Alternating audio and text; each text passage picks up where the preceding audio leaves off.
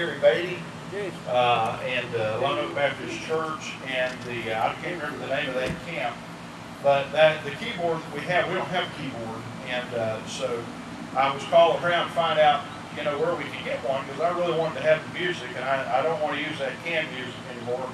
Although it's sufficient, it's just not as good as having Sister Beverly play.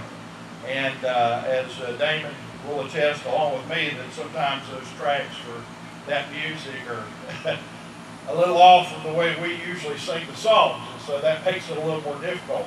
And so I want to thank Sister Beverly for playing for us this morning, and uh, and uh, Brother Damon for leading the music. Uh, I will tell you, I'm, I'm blessed already. Uh, I hope you are. Being able to be here and see everybody, and uh, even though it's hot, I'm sweating right now. That's okay. I can take a shower later. Uh, I hope you don't mind me wearing tennis shoes this morning. Uh, I, I felt like, well, I'm not going to dress up in a suit, so I'm going to put tennis shoes on, wear those, uh, be more comfortable. But anyway, they're getting soaking wet, and, and so they'll have to dry out this week. But anyway, uh, I want to thank Brother Kerry and that camp. That's that's their keyboard for that camp that they use. Uh, and uh, I called him. He said, "Yeah, we've got one," and he brought that to me. Uh, and of course, he told me. He said, "Now the only thing wrong with it is up in the upper range of the keys, there's one uh, key that when you hit it, bang, it's just a bang." And of course, uh, Sister Beverly's found that a few times. And it is there, so now we know that. But anyway, wanted to thank them for that. Excuse me. Uh, just, I was, was Sister Dale told me just a few minutes ago that uh, my telephone number is also, I didn't think about that, all those papers we handed out to you. So you have my cell phone number on there. But anyway, if you have your Bibles with you this morning, I invite you to the book of Judges, chapter 3. Judges, chapter 3 this morning, since uh, we're through uh, the Easter Sundays. We get back to uh, what we've been doing. We've been uh, looking at all the judges. And uh, so we're still in Judges chapter 3. We're just going to look at one passage of scriptures from one verse at the very end of Judges chapter 3, and that's verse 31. Remember, last time we were here, uh, we were looking at uh, the, the, Ehud, who was one of the judges, and uh, that took up quite a few verses. Well, this next judge, really, there's just one verse. Now, I just want to warn you guys, Jason's going to be walking around, and uh, he's going to be getting some video of folks here, so hopefully you brushed your hair, at least. Uh, and he's going to kind of incorporate all that together when he uploads this online. So maybe the folks that said, nah, I'm not going to go that early in the morning and be a part of that if we continue to do this, maybe they'll get so excited about it, they'll come next time. Amen? And uh, so uh, uh, he'll be walking around getting video of folks, so don't worry about that. Just ignore him. You just watch me and you listen along. Judges chapter 3, verse 31. We've got a real long text here this morning. You ready? And after him was Shamgar, the son of Anath, which slew of the Philistines 600 men with an ox goad, and he also delivered Israel. Let's pray. Father, we come to you once again. Thank you for this day. Thank you for an opportunity once again to worship together. And we just thank you, Lord, that you made it possible for us to be able to continue to come together at our regular times in one capacity or another. Pray that you bless this time we have together. Bless each heart that's here. May we be attentive to your word and apply it to our hearts and our lives today. And Lord, I pray that many others will see it when it gets posted online uh, here later on this morning. And uh, we just pray you bless this time that we have together. We're, it saddens us that we can't just get out of our cars and go hug necks and shake hands, but Lord, help us to uh, uh, just be obedient, try to keep things to where we can continue to do the things that we're doing. Bless this time we have together. Bless the word. Bless our hearts as we listen to it. We ask all these things in Jesus' name. Amen. So, uh, what we're going to talk about here this morning is, uh, you know, because uh, we got a real long text, so, uh, you know, this is interesting to uh, try to find some points and a point to go along with this one passage of Scripture. But what we're going to talk about here this morning, when we talk about this judge Shamgar, is we're going to look at the tools that he used for success in, in this work that he did. And, you know, when I got to thinking about this and prepared this message, uh, it, it, it, dawned on me that we're in the midst of this very uh, situation right now. Ever since this virus came into the picture and things uh, started getting limited uh, as to you know us coming together and, and we started doing things online and things like that.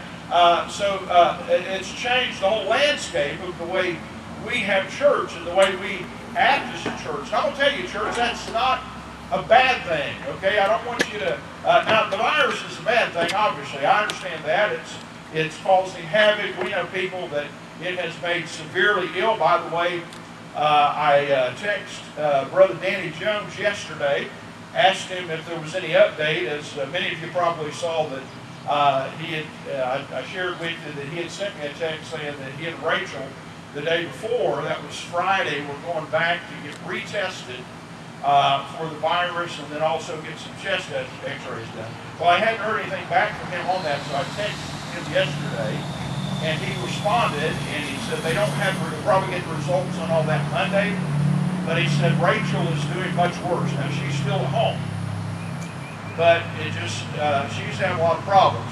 Uh, she's having a lot of chest pain with the breathing. Uh, they're both still running fevers, uh, and she's just miserable. She's in a lot of pain. They put her on a nebulizer, which he said seems to help with it.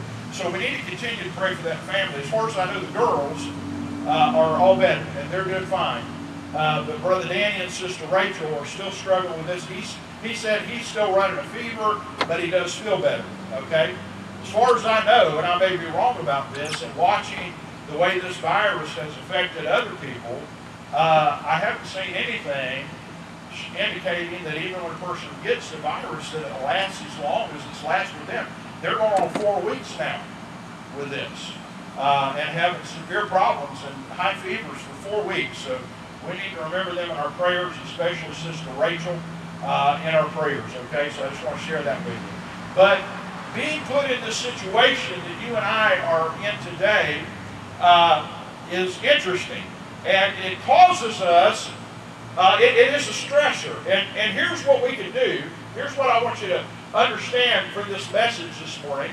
When stress comes into our life, we can either fold up and shut down, amen, or we can stand up and we can push against it and work our way through it. And when I was preparing this message, I got to thinking about that. That's exactly what we've been doing, and I don't say that as a as a, in, in a position of pride, but even though we've been hampered in our services, we've continued to look and find a way and work out a way that we could somehow come together and we can worship together. And I want you to know that's not just me. You might say, well, boy, preacher, we're really proud of you and you doing all this and getting it set up and and getting us all together like you have, and I thank you for that. But that's about you too, because in this pressure, you could have just folded up and, and sat down and said, you know what, I, I just can't do that. And, and, but you haven't. You've been there when we're online. You're there. I see you. I know that you're there with me. And, uh, and, and, so I, I, like to think that, that we've already implemented some of this message uh, in our lives here lately. And so maybe that'll help you a little bit this morning as we consider uh, these tools for success that we see in the ministry and the work of this judge called Shamgar. Now, one, one uh, uh, uh theologian or commentator, excuse me, uh, in writing about the book of Judges, he gave a synopsis of this when he spoke about Shamgar. He says this His brief notoriety in the Bible lends itself to three success secrets. And that's what we're going to talk about here this morning. What are these three success secrets that we see in the life and the ministry of this judge, Shamgar? And I'm going to tell you, there, when you hear it, you're going to say, duh, I should have known that. I mean, yeah, that's right. And so let me share them with you real quickly here this morning. Number one, start where you are. When you come into a situation and something needs to be done, stand up and start where you are. Number two, use what you have. Uh, you know, I'm just giving you in a nutshell right now, but when it, when it comes to these situations, we, we can't worry about what we don't have. We have to understand and know what we do have, the resources that God has given us, and then we need to just work with that. Amen. Number three, okay, do what you can. God doesn't expect us to do any more than what we can. Amen? If you, you know, I, I, I was trying to think this morning of a way to get people to say amen, because I can't hear you in the car. So if you want to say amen, just flash your lights or beep, beep, get a little beep on the horn, okay? It won't bother me a bit. Uh, I'll take that as an amen.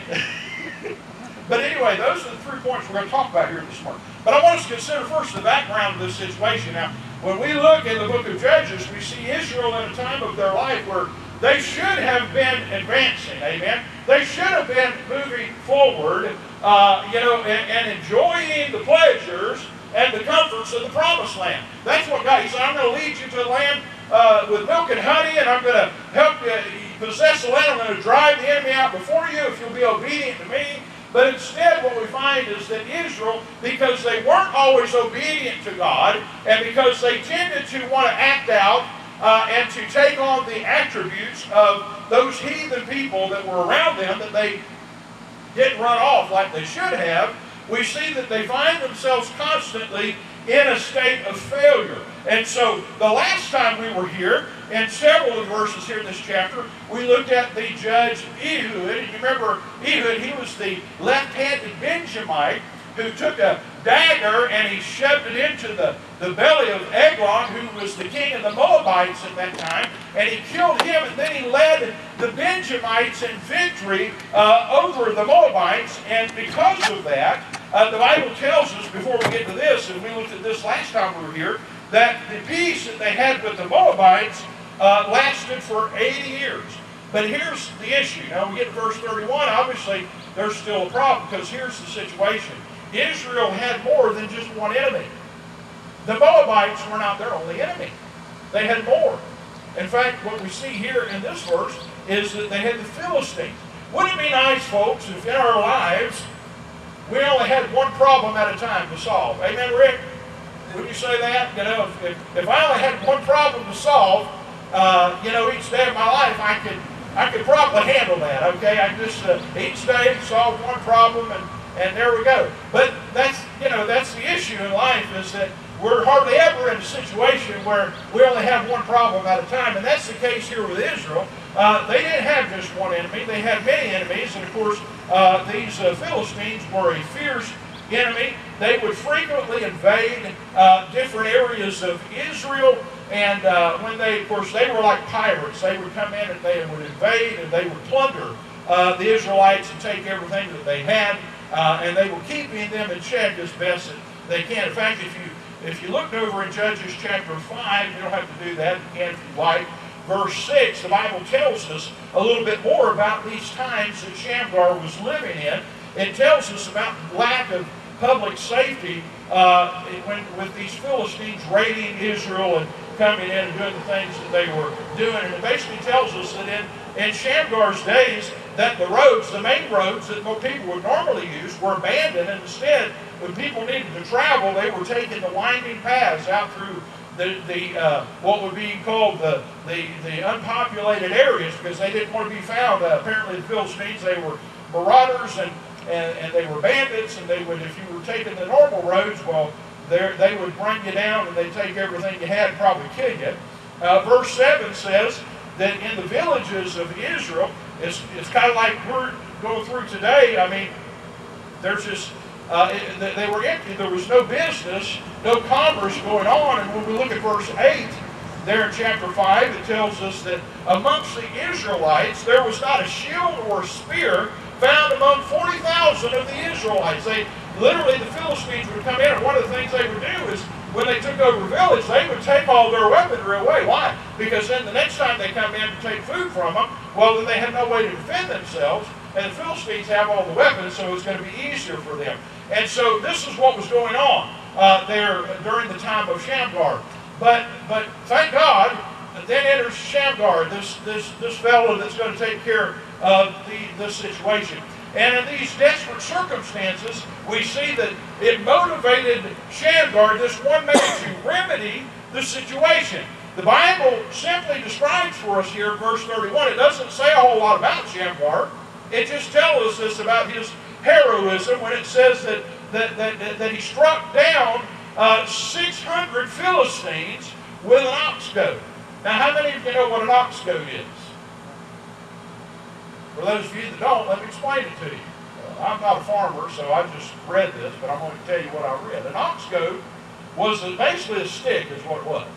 Ox goad was a stick anywhere from six foot long to ten foot long. On one end of that stick, there would be a point. Okay? And, uh, and so that point was used, uh, you know, back in those days, they used oxen to do the work to uh, till up the ground so that, uh, uh, you, know, so they could plant their seeds and they could grow things. And so uh, they used oxen to pull the plows. Well, oxen don't like to pull plows. I don't know if y'all realize that. That they don't, when they stick them on the plow, they don't say, wow, great, we can pull the plow today. No, they don't like doing that. All oxen like to do is to stand around and eat. That's what they like to do. They don't want to do labor. And so the ox goad, the pointed end of that ox goad, uh, was used to poke them in the back of their legs to kind of coax them, if you will, to, to, to move forward, okay, to keep going forward. On the other end of that would be a spade, okay, and that spade would be used whenever the plow got a lot of mud or clay uh, that gathered up on the plow doesn't work as well. You farmers know what I'm talking about. And so they would use that spade to get off the, the, the, the thick clay and mud and the roots off the plow so that they could plow a lot easier. But the point I'm trying to make here is this is a farmer's tool. Okay? However, in the hands of a man that's motivated, this farmer's tool became a mighty weapon, and with it he defended not only his family, he defended his countrymen, he defended his property against the invading marauders that, uh, that came into his area, and he did that with a farm instrument. And I want us to understand uh, what was, you know, these, these different points of success that we see in Shamgar and how he was able to accomplish this. Number one, start where you are. Well, that's exactly what Shamgar did. He, you know, said, well, what, well, how did he prepare? Well, he just started. Amen. He, he was there, and this was going on, and Shamgar, all we know is he started.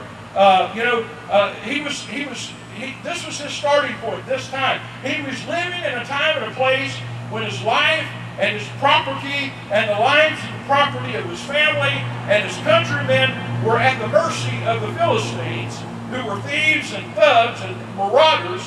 Uh, and so he could have seen himself as being helpless, probably like most of the people of Israel felt. He could have seen himself as helpless. He could have seen himself as, as being hopeless, and, and he could have just buckled down and folded down and, and, and just kind of melted down under a bush somewhere and not did anything. Uh, but instead, he didn't do that. He started where he was at. Now, uh, even those hopeful, okay, the most hopeful people can sometimes be trampled down under a weight of worry and fear caused by the stress that comes from the problems of life. That, that, that's one of the many reasons why, folks, we need God. Amen? This is why we need God. Now, the, uh, uh, the communists, I was trying to think of their, their name, the communists used to say, only weak people need God. Only weak people need God. And in our culture today, the, uh, uh, the intellectualists would say the same thing, only weak people need God. But the truth is, we're all weak. Amen? We're all weak, and so we all need God. Here's a God, and, and, and or here's a judge, and as we study these judges, we're going to find this is the case with every one of them, that uh, because of their dedication to God and their willingness to be used, God placed His Spirit on each of them and by His Spirit in their weakness, He leads them. Uh, beginning from a place of weakness, I want you to understand, is not always a bad thing. It can actually be a good thing because when we begin in a place of weakness, then it becomes a God thing. Amen? When God comes in and He charges us up and gets us ready to go. God does things in the lives of people who will admit that they need Him that He cannot do in the lives of people that will not admit God can do things in your life when you recognize your weakness and say, God, I need you to use me and fill me. God will use you then. But if you come and say, Boy, I got this handled, well, then you know what God's going to say? All right, you go ahead and handle it. Let's see how that works. Amen? So we need to learn to rely on God in these situations. So, three times in the Bible we find these words God resists the proud, but he gives grace to the humble. We find this in Proverbs chapter 3 and verse 24. Uh, we find it in 1 Peter chapter 5 and verse 5. James chapter 4 and verse 6 is where we find this said in Scripture over and over again. You see, what I want you to understand, though, is you need to start where you're at. Shamgar didn't wait until he, he had an army of a thousand to lead into battle. Uh, and you don't have to wait until you think you have all the things you need to move forward and do what God would have you to do. Just, my friend, just start where you are. Start where you are. Secondly, use what you have. Use what you have. Shamgar didn't have a sword. He didn't have a spear. But listen, he didn't need one. Amen? We don't need a lot of the things that we think that we need in order to serve God, in order to have victory in our lives. You know, you may say, well, I don't, preacher, I don't, I don't have the money. If I only had more money, I could do more stuff. Uh, if I had a better education, I could do more stuff. You know, some of the most successful people I've met in life throughout my years, uh, uh, men who have, uh, you know, who love the Lord and serve God, and men who, who went out and, and started businesses and were great successes, and, and they were a blessing to other people in their life. And, and this is not the case every time, but there's been many of those people in my, in my life that I've met who didn't even graduate high school. Y'all probably know people like that. You know, they're from your generation now, uh, or maybe they passed on, but they, they, they, they did great things in their life and were a great success, and they didn't have a, a college education. I'm not against having a college education, don't get me wrong. But uh, uh, if you get those things, if you can get better equipped, then please get better equipped. But the thing is, is you need to use what you have. Don't wait until you get better equipped to serve God. Take what you got right now and serve Him with that. That's what we need to do. Okay? Shamgar didn't have a sword of spear, but he didn't need it. God came to Moses. Remember Moses? In Exodus chapter 3, God came to Moses in the burning bush. He said, Moses, I want you to go back to Egypt, and I want you to tell Pharaoh to let my people go. And Moses started backing up and making excuses. He said, Well, who am I? He said, I, I don't I, I don't have the talents, I don't have the ability to, I don't have what I need to do that, Lord. So God told Moses, says, What do you got in your hand? He said, Well, I got a shepherd's staff. He said, That'll do. God said, Cast it on the ground. Moses cast it on the ground and turned into a serpent. God said, Grab it by the tail and pick it up. Moses grabbed it by the tail picked it up, and it became a, a shepherd's staff again. And you might say, Well, a shepherd's staff is not a, a great thing.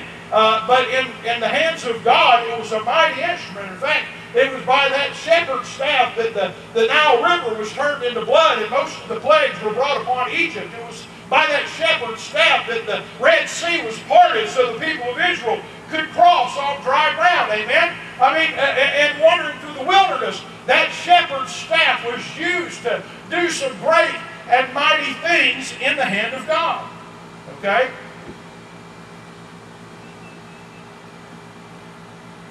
You need to ask yourself this question.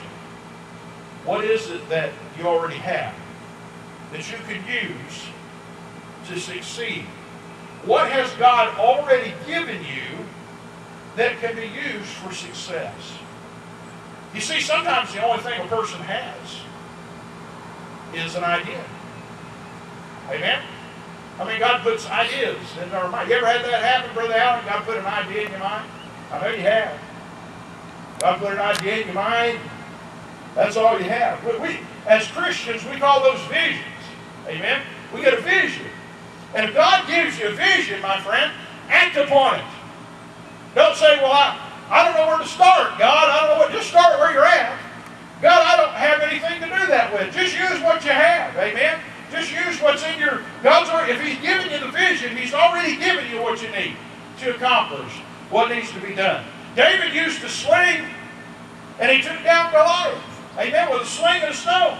Uh, in Elijah's days, the, the widow woman, okay, the widow woman and her son, she just had a she had a little bit of meal in one barrel and she had a little bit of oil in another barrel, but throughout three and a half years of famine, God blessed that, that she was able to feed herself, her son, and Elijah during that time. Okay? Uh, uh, the little boy who was there when Jesus fed the 5,000.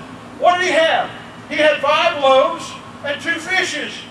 And, and 5,000 men plus their families were fed because of that. My friend, start where you are and then use what you have. That's what God's saying. That's what Shamgar did. And God made him a success. And number three, just do what you can.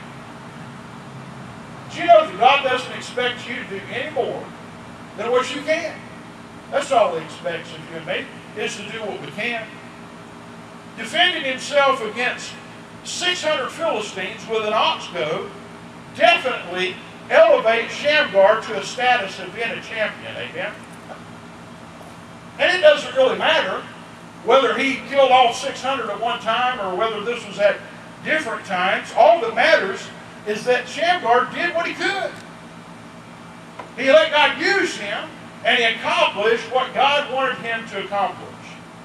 How often do we fail to make a contribution because we believe that our contributions won't really matter, won't really make a difference in, in, in our lives and in the lives of others? But yet Jesus taught us this Jesus said, if you give someone a cup of water in my name, then what you've done is significant and it matters. Listen, my friend, you may feel unworthy. I'm going to tell you, we all are. We're unworthy. We're broken vessels in the hand of a mighty God. And I'm going to tell you, if God's going to do anything in this world, He's going to have to use unworthy people because that's all there is. And that's all he does. He takes unworthy people and he uses us, he blesses us, and, and, and, and, he, and he uses us for his glory. And I'll tell you this God is not looking for people, uh, for worthy people that he can bless. God's looking for available people. That's what he's looking for. As a pastor, when it comes to our church ministries, I can tell you because that's God's vision and that's God's way. That's all I'm looking for. I'm not looking for somebody to teach a Sunday school class that's got a, a college degree in education or been a Sunday school teacher for a hundred years, so they're very knowledgeable on how to do that. I'm going to tell you, God's not looking for that. God's just looking for people who are available that will allow themselves to be used by Him for His glory. You say, well, preacher, I, am not very impressive. I can't do impressive things. Uh, you know, and, and, and, and I can try, but it just won't be as good as what somebody else can do. You know, I'm going to tell you something, friend. You may not ever get your, head, your name in the headlights, okay? You may never achieve your 15 minutes of fame by serving God, but if you'll do what you can, God will bless what you do and it will make a difference. What can one person do? What can you do? Judges chapter 3, there's, there's only one verse about this man Shamgar. Let me ask you this morning, was, was he significant? I would tell you, for his family, for his countrymen, for God, it was very significant what he did. God included him as an example for you and me to follow in our lives. To endeavor to say, you know what, God, I want you to use me. I want you to do something. And so listen, here's what I'm going to do, God. I'm going to trust you. I'm going to put my faith in you. I'm going to work through all the issues and the stresses in my life and be used by you, God, because I'm just going to start where I'm at. I'm going to use what I have. I'm going to do what I can. Every one of us find ourselves in that kind of situation right now, don't we? Darby, you know what I'm talking about? As a teacher, I mean, one day they called her up and guess what? You're a brand new teacher. You just now learning how to do this. Now you got to learn something totally different. And now she's having to teach her kids online. And you know, they're talking about all the stresses of that for families at home and systems shut down. I'm sure the teachers are experiencing the same problem. And now the governor's come on and said, guess what? this is the way the rest of the school year is going to be like. Because we're not going to bring them back to school. You know, we find ourselves as a church in this situation and say, well, man, we, we just we just got hogtied. How can we reach people? How can we be used by God in this situation? Because we can't come together in our little church building and have our worship services. How's anybody going to visit us and come to know Jesus as their Savior? I'm going to tell you, friend, that was never the only way that God intended for people to get saved. Never. This is not a, a hospital for lost people. This is the training grounds for the saved. That's what this is. Okay? So we can't use the building, but we're still in training, aren't we? We're still having services. So take what's being shared and use it in your life, and more importantly, share it with others. Too many people today are, you know, are, are just busy sharing whatever. We're all online. In fact, I think Facebook, they probably got people uh, running around like a one-legged woman in an IHOP restaurant, waitress. You know, they, they don't know how to keep up with what's going on. Everybody's online and everybody's on Facebook and what do they call them other things? Twig or I don't know what they call them. Anyways, all kind of online services people are using to try to stay in connection with each other. All the churches are using. be a blessing to somebody on there. I'm encouraged when I see somebody post something. Uh, Sister Sally made a simple post. This has been a few weeks ago, and I reposted it because all it was was just a little post. One, two, three, four, five gave steps to how a person gets saved. Folks, that's witnessing online. Amen? That's how we share the gospel online. We make posts telling everybody Jesus is the answer. You need to accept Jesus as your personal Savior putting posts on there about how Jesus has blessed your life. This, this means something. I was looking at an article yesterday, and I want to close with this. I get emails from uh, a group called Answered in, Answers in Genesis. They're the ones that have the uh, Ark and the uh, Creation Museum up there in Kentucky. And they put out emails answering uh, pertinent questions of the day. So the question, and this has been, question that's been posed to me, is God trying to speak to the people of the world through the coronavirus? Is God telling us something? Well, my friend, I'm here to tell you, and this has been my answer, and I'm glad when I read their answer, went right along with what I've been saying. Of course he is. Because everything that God allows in our lives, even especially the stresses that come in our life, you know, God, Bible says He will not allow you to be tempted above that ye are able. Okay? So God never allows anything to come into our life that He doesn't know we can handle with His help. And when God allows situations like this to come into our lives, I guarantee you he's talking. He's, he, he's trying to teach us something through this. And, and, and every one of us is different things that God's teaching us. But here's the main thing that they put on the article that, of course, God, in every situation, God is talking to us. And if anything God's saying right now, He's saying the same great old message that has always been the truth. That salvation is by grace through faith in Jesus Christ. And that men of the world that are not saved need to realize that in their lost condition, if they leave this life, if anything the coronavirus teaches us, it teaches us once again about our, our weaknesses as human beings, and that death is always knocking at our door, and that we can be gone at any moment. And if we leave this life without Jesus Christ, we are without hope. My friend that might be watching us online, and maybe you're not saved, if you don't put your faith and trust in Jesus Christ, and I don't care whether it's coronavirus or a semi truck or a heart attack or stroke or whatever it might be, if you don't put your faith and trust in Jesus Christ, you are without hope. But I want you to know Jesus loves you.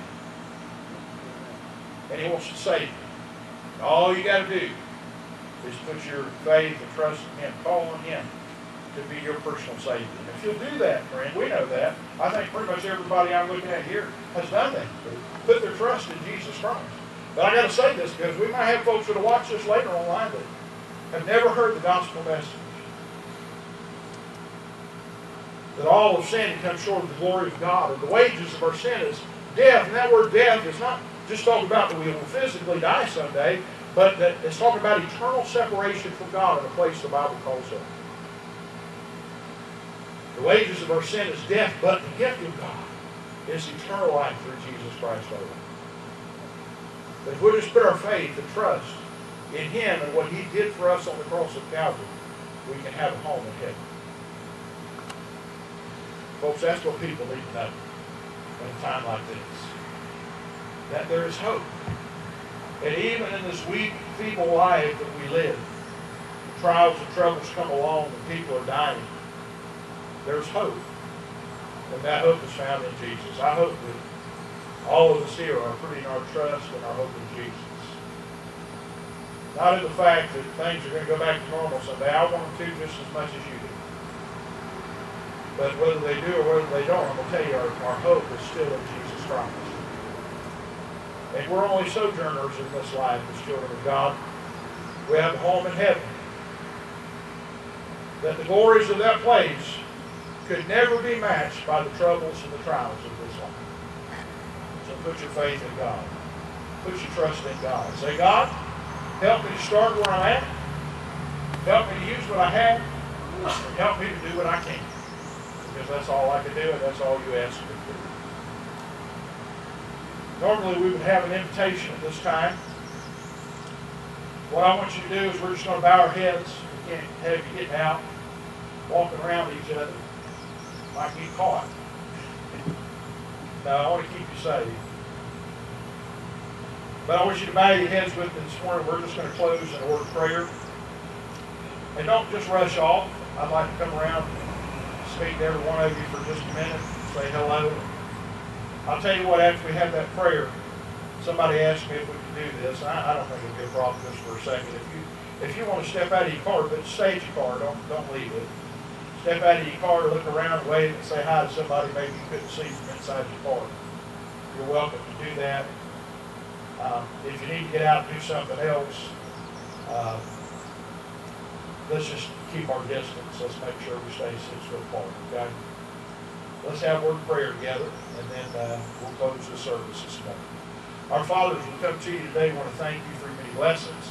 Thank you for this time we've had together to worship you. I thank you for each one has turned away from the cares of uh, their home and, and uh, things that uh, they could be doing there to come out this early and be with us for this service.